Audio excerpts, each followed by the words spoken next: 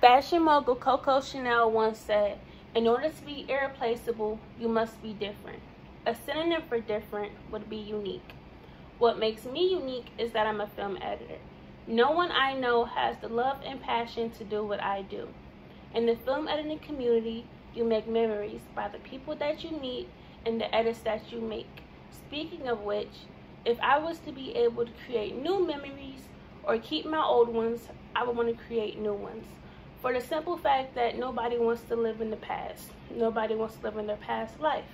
Speaking of life, if I was to do whatever I want judge free, I would do the simple things like do my hair however I want and dress however I want.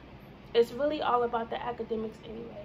And with my academic question, the question that I would like to be answered by the end of my college career was why in the electoral college, why do we still have it if in the Constitution it states for the people, by the people?